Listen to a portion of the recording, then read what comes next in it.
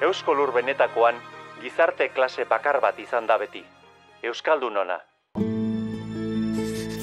Agirre, lehen lehen dakaria, gure izaeraren ispilu.